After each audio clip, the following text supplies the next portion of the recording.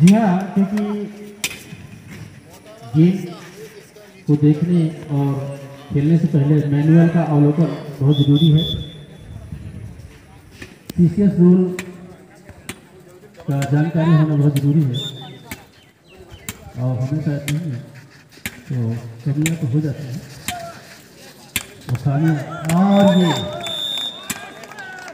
है। और ये पाँच नंबर की खिलाड़ी, पानी संजर सागर के काफ़ी लॉन्ग थ्रो जो कि गोल को पार करती हुई। और ये नौ नंबर के खिलाड़ी है, जोरदार। सात। पानी संजर सात। चलिए उन्होंने छः दोनों टीमें काफ़ी चुस्त, दुरुस्त युवा खिलाड़ी। और बेहतरीन थ्रो पाकिस्तान कोई टेंशन नहीं और ये आराम का मामला है। समय की कीमत पूर्ण हो चुका था और ये बाएँ हाथ से